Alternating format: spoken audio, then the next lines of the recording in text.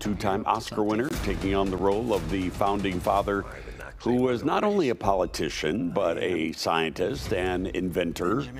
And if you've got a $100 bill on you, he's the guy that's on it.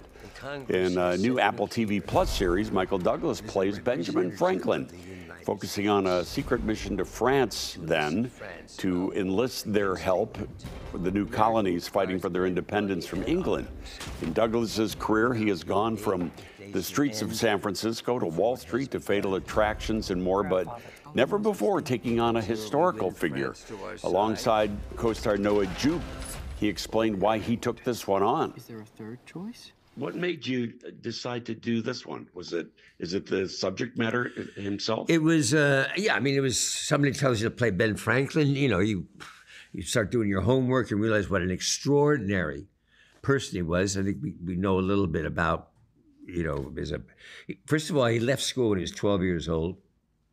You know him as a printer, a writer, a publisher, starting universities and all of this, all his inventions. An incredible life. Then at 70, 70 years old, the Continental Congress asks him, Declaration of Independence, to go over to France and get support because they were fighting the British at the time and they needed weapons and ships and money and everything else. And uh, Franklin goes over at 70 with his, uh, his uh, grandson, Temple.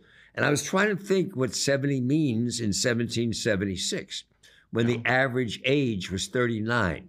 There's no question about it. We are, France is the reason that we are responsible, we exist as a country today. More with Michael Douglas later on. The limited series Franklin begins streaming tomorrow on Apple TV Plus.